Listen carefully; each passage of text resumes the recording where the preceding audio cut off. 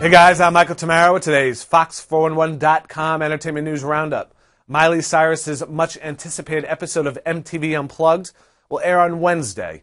And of course, there'll be plenty of twerking and tongue wagging. Cyrus taped the acoustic concert on Tuesday, performing stripped down versions of hits from her latest album, Bangerz. Queen of Pop Madonna will help close the show with the duet of a mashup of her hit, Don't Tell Me, and Cyrus's We Can't Stop. Props, crazy costumes, and profanity are all part of the big show.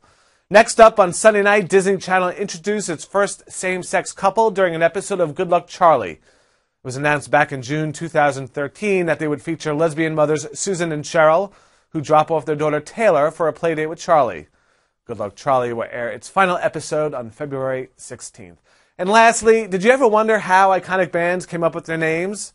Well, Lynyrd Skynyrd was named after the band's tough teacher, and Three Doors Down came up with their name while taking a walk. Well, we've compiled a list of nine bands who reveal exactly where their names came from.